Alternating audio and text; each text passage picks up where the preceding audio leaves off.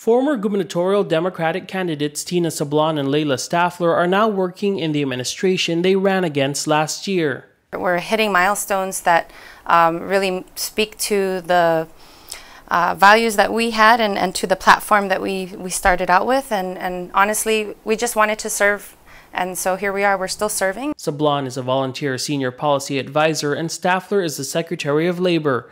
When the election reached a runoff between former Republican Governor Ralph Torres and then Lieutenant Governor Arnold Palacios, Democrats formed a coalition to support the independent ticket. That support came with a unity pledge inked in November filled with promises for policy priorities that both teams share.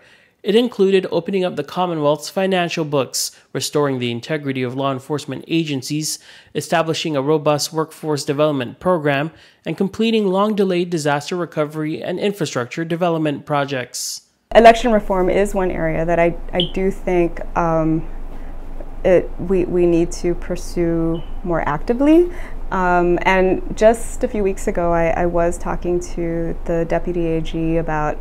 Um, you know, working more closely with the Election Commission uh, to make sure that we have standard operating procedures in place. This is a long-standing recommendation of OPA uh, to finally get SOPs in place for elections so that things are smoother and there are fewer issues and people have more confidence in the process.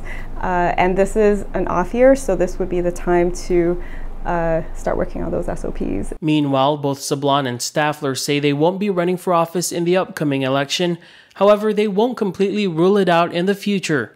While working for the Palacios Apatang administration, who are former Republicans turned independents, the former candidates tell us they're still Democrats. We definitely want to continue to grow the party and, and, and build interest with new candidates. The Democratic Party is here to stay. It remains to be seen if the Unity Pledge will hold beyond the next election.